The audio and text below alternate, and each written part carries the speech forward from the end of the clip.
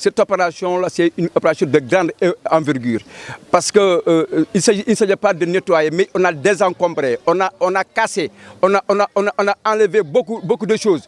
Et on, a donné les moyens, on a osé faire cette opération-là. Donc euh, aujourd'hui, tu peux passer n'importe où et tu, tu, tu circules librement au niveau de, ce marché. Et je, je, je disais tout à l'heure, les autorités ont osé de, le faire et nous, nous, le saluons. Euh, donc nous le demandons, si possible, chaque année, chaque année, on fait une, une, telle opération. Et ça va nous permettre. Tout ce que nous faisons ici, c'est pour sauvegarder la santé des, des, des, des personnes. Et nous, nous, nous, sommes là pour, pour la population. Le, le message que nous lançons, c'est qu'après cette opération, on, on, on va faire le, suivi. Donc, on va essayer de créer des comités de salubrité pour pouvoir faire le suivi au niveau de, de cette opération. On ne peut pas investir euh, euh, euh, une telle somme et, l'engagement des autorités, l'engagement de la population et, deux jours après, on revient à la case de départ.